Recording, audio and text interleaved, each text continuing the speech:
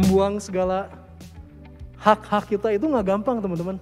Tinggal kita bagaimana mengerjakan keselamatan tersebut. Bagaimana hidup kita kita persembahkan buat Tuhan. Kita mau terus menjadi serupa dengan Kristus.